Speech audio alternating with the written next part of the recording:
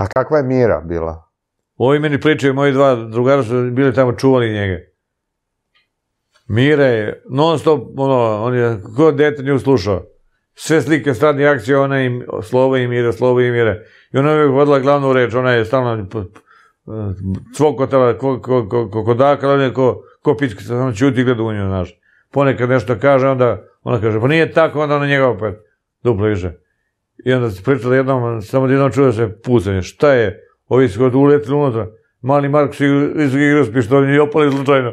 To je bila frka, panika tamo, piču komater. A nakon što je Marko vozio vaše Lamborghini, a vi ste ga dali i Dušanu Borovici. To Dušan je dao pare za njega. On je naručio taj auto, ja sam ga samo vozio dok on nije neke stvari tamo rešio. Dok mu nisam ja sredio registraciju da bude Vu Borovica.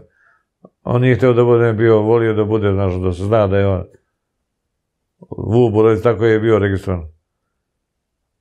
I onda je on isjebao lamelu, pa sam ja preko Marka opet iskoristio ga da mi promene lamele, jer je servis za Lamborghini koštao 11.000 evra, maraka.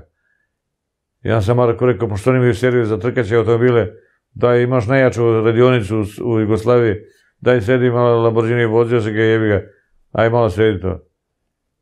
I se oni stvarno su napravili, Vlada se razume u mehaniku, on je bio mehaničar, Vlada Tref.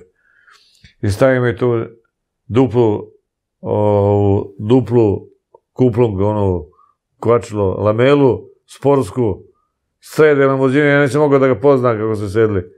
Ja računam da ću jedno pet soma da me košta pola cena super. Pitam koliko je cena, kaže daj 50 evra tamo za majstor. 50 evra? Od 11.000 na 50 evra. Čisto kada nije samo kupim viski i cigare i to je to. Da free shop, tako je. Tako da sam prošao tu super.